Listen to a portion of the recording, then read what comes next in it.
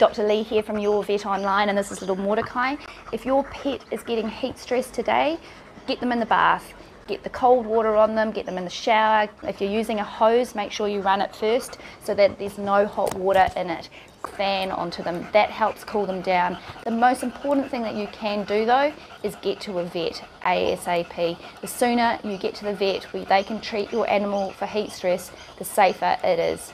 We're going to go and get into the cool. It's a little bit too warm out here.